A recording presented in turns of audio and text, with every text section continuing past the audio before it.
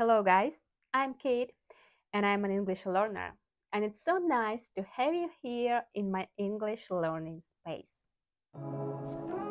Welcome to my English fluency path.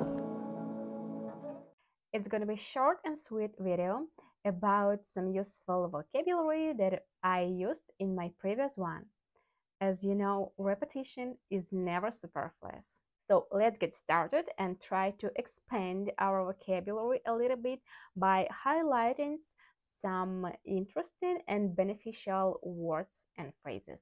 Due to my experience, I review these new words, collocations, and phrases uh, after a little while and put it into practice. And sometimes I even create such a separate video like this.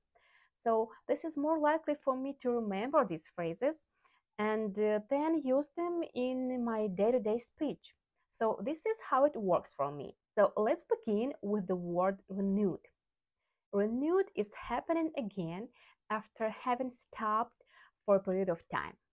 It can be renewed interest, renewed energy, renewed enthusiasm.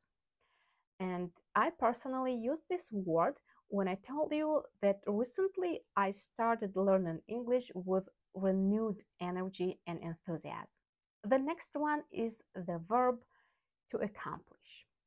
To accomplish means to finish something successfully or to achieve something.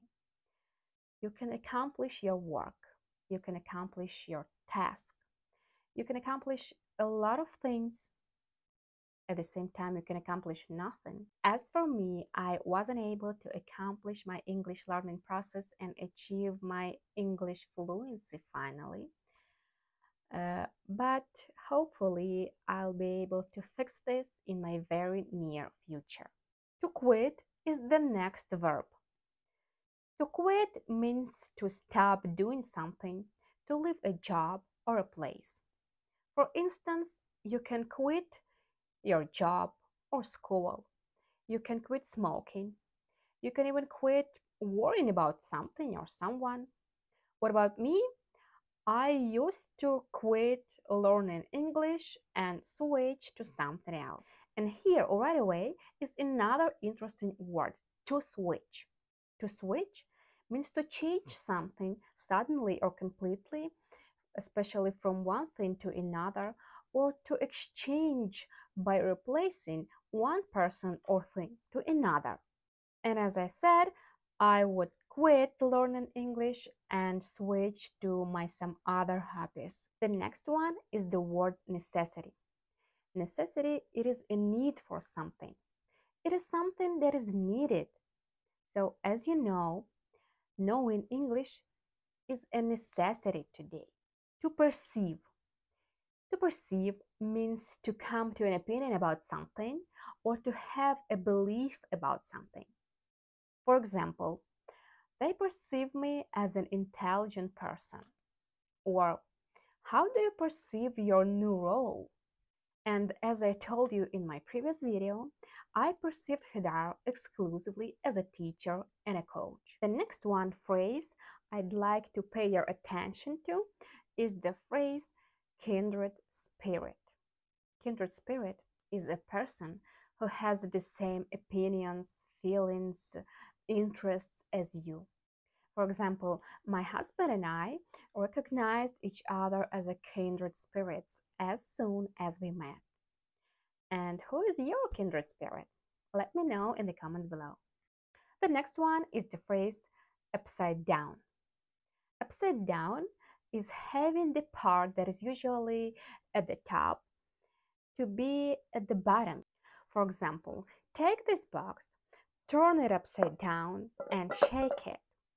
Or, one of a sudden, my understanding of learning English and achieving English fluency has completely turned upside down.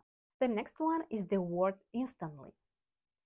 Instantly means immediately, right now, right away. So you can make your decision instantly, or you can make your instant decision like me when I instantly decided to create my YouTube channel. By the way, this is an instant coffee that dissolves instantly. Let's take a closer look to the word irresistible. Irresistible is impossible to refuse, oppose, or avoid because it's too attractive, pleasant, or strong. As for me, I have an irresistible desire to learn English and passion for it. The next one is a very useful and beneficial phrase to get fired up with something. To get fired up with something is feeling very excited about something or impatient to do it. As you understood, I got fired up with the idea of creating this channel. To pop up.